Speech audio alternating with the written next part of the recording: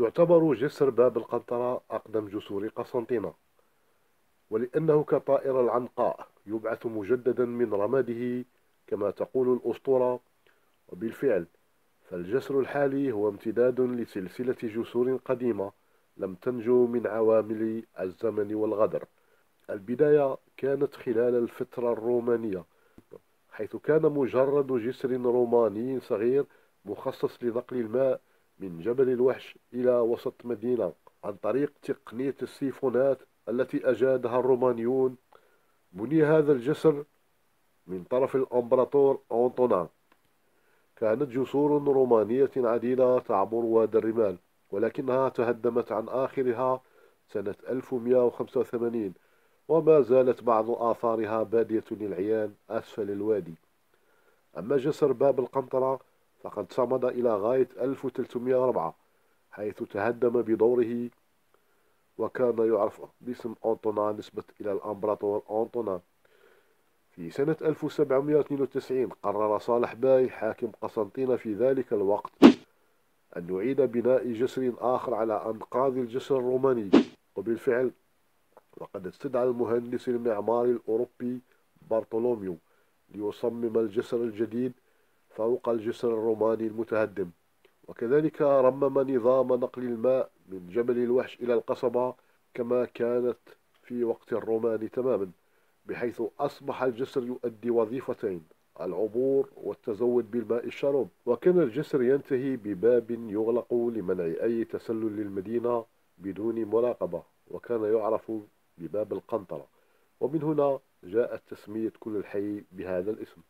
يا العربي عطي صلاح نفدوه بالماء وعلاش له لا يرحم من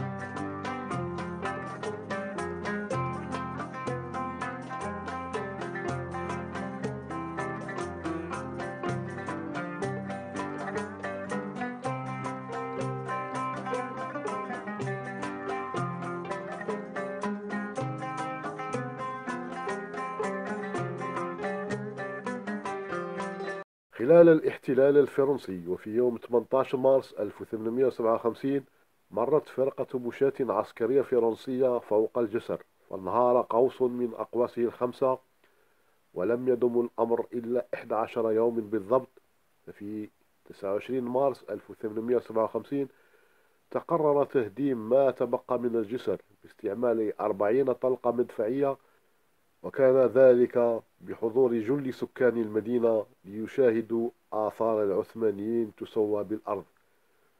وكان هذا العمل ينم على حقد دفين ضد المسلمين. يدشن جسر جديد أعلى من كل الجسور السابقة. في سنة 1863 دشن جسر باب القنطرة الجديد بتقنيات جديدة وبنفس شعور التعالي واحتقار الآخرين. وصمم أيضا ببوابة كبيرة في مدخل الجسر من ناحية المدينة أي على الشارع المعروف بالطريق جديدة. وفي سنة 1922 تقرر توسيع الجسر وتهديم البوابة فأين ذهبوا بكل تلك الحجارة المستعملة في بناء البوابة؟ لا تذهبوا بعيدا سنكتشف سر مكانها ولكن بعد الفاصل.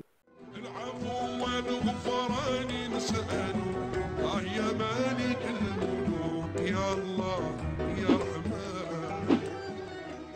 قسنطينة دفعت الديار. لا عرف قليبي واش اللي بيا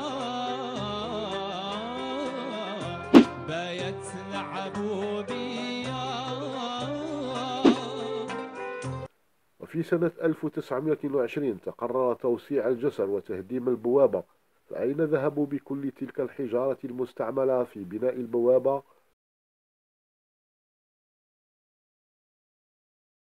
نحن الآن في طريق الكورنيش غير بعيدين عن محطة البنزين وتحت جسر سيدي مسيد هذه جادة الطريق المخصصة للتفسح. هنا وضع ركام باب القنطرة. المتكون من الحجارة المصقولة التي فككت ووضعت هنا ربما على أمل استعمالها في بناء آخر ولكنها لبثت هنا منذ 99 سنة تنتظر مصيرها.